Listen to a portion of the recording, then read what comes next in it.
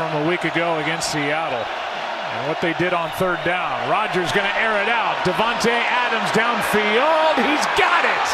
And there's a big chunk down inside the 25 as the Packers look for life. And he was working against Richard Sherman. That one is good for 60 plus yards. Well, he gets him turned around off the release, and then he's just simply able to outrun Richard Sherman. Normally, he's in more of an off coverage. He's able to stay on top